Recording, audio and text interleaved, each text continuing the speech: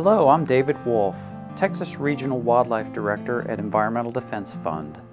One of the most exciting projects I've done at EDF is helping protect an endangered songbird, the golden cheek warbler.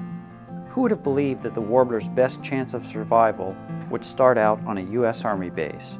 But in fact, that's exactly what has happened.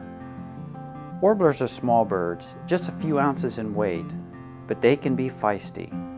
If you approach their nest, they make a huge ruckus. They spend their winters in Mexico and Central America, and each spring fly back to Central Texas to breed and raise their young. They nest in mature oak juniper woodlands found in the Texas Hill Country. It's because so much of this land has been lost or fragmented that the warblers are on the endangered species list.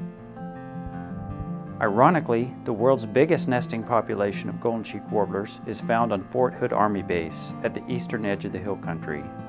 The Army needs to fire artillery and maneuver tanks to train its soldiers, and we knew that could potentially damage the warbler's habitat.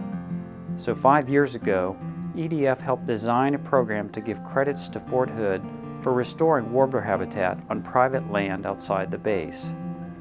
Hill country landowners now get paid to use techniques like selective brush thinning and managed grazing to restore the right kind of habitat for nesting. The landowners really like this approach. They're glad the endangered warbler is on their property rather than worried it will get them into trouble. In fact, our program is working so well, we're getting ready to expand the program from 6 to 34 counties to encompass the entire Texas Hill Country. This time we'll restore habitat for both the warbler and for the black-capped vireo, another endangered songbird whose habitat is often intermixed with the warblers. The newly expanded system will offer credits to energy companies, the Texas Highway Department, and others that want to help out the birds. For example, new transmission lines are planned to bring wind power from the plains of West Texas across the hill country to Dallas and other cities. Well, with our offset system in place, this can be done while the birds continue to thrive.